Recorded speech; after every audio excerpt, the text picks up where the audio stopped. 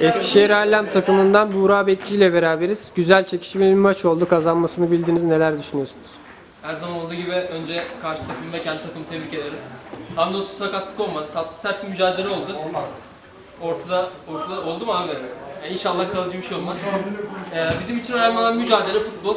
Güzel zevkli bir mücadeleydi. Herkesin ayağına sağlık. Tekrar tebrik ederim karşı takımı. Teşekkürler. Bir saniye, bir dakika daha devam et. Abi orada. Burak Bey isim değiştirdiniz. Neden değiştirdiniz isminizi? Ee, üzerimizde bir kara bulutlar vardı. Dedik ismimizi değiştirirsek belki e, bunu kırdık ama ikinci maçımızda e, çok sağlam bir rakibi yendik yani. E, böyle devam edeceğiz inşallah. Rakiplerin size diş bilediği söyleniyor. Doğru mu?